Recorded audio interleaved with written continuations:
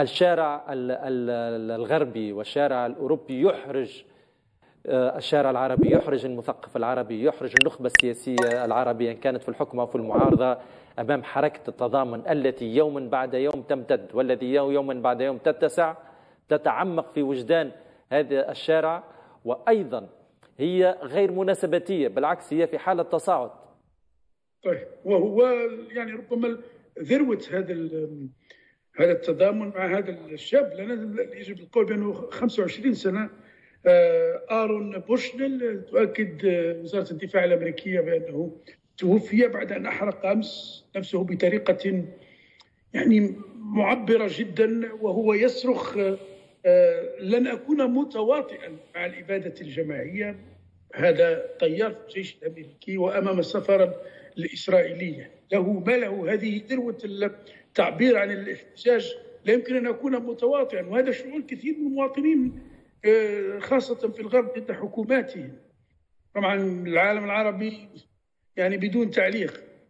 ولكن أعتقد لما قام به هذا الشاب يعني رمزية ورسالة معبرة جدا يعني بمأساوياتها. وللأسف الشديد مقابل طبعا منظومة غربية وفي مقدمها الولايات المتحدة آه، تتواطأ.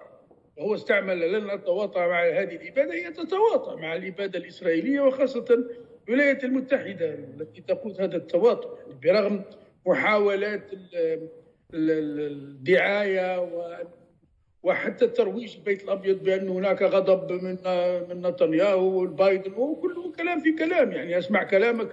لا لا أستغرب أشوف أفعالك لا, لا أستغرب أو لا أصدق. ممكن نغير المقولة. أسمع كلامك لا أصدق. أشوف أفعالك لا أستغرب. هذا ما يقوم به بايدن وما تقوم به إدارته. يعني رحم الله هذا الشاب صراحة ما قام به شيء له ما له كان هناك فعلا. المفارقة أنه أنا أتابع وسائل الإعلام الغربية خاصة في بريطانيا.